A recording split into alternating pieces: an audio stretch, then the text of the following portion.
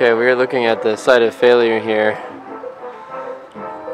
So you can see that load escaped the hook and fell onto the rear patio about 8 feet below damaging the structure. So this was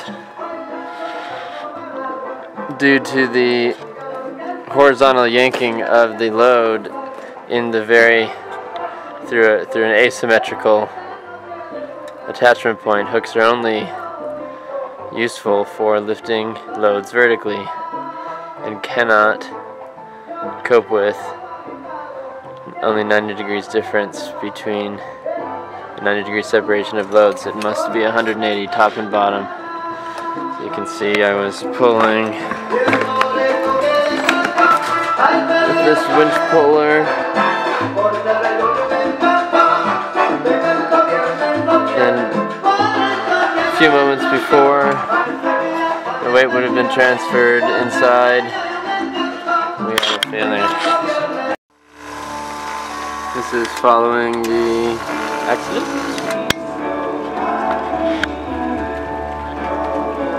You can see the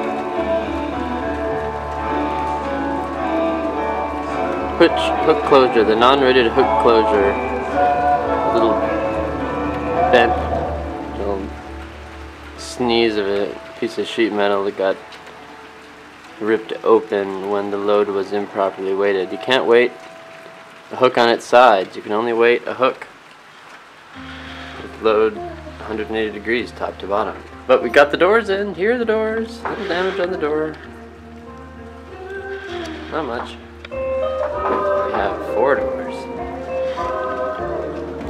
And inspector. Very unhappy. This was calls for full investigation. I do. Why did you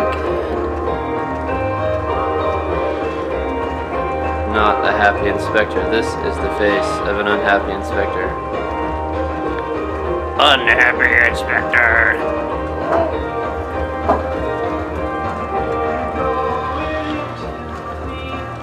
Got some plastic damage in the window.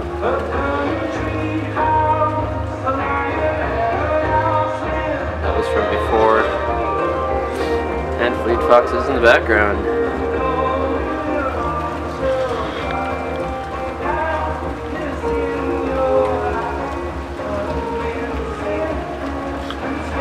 see that sheet metal broke.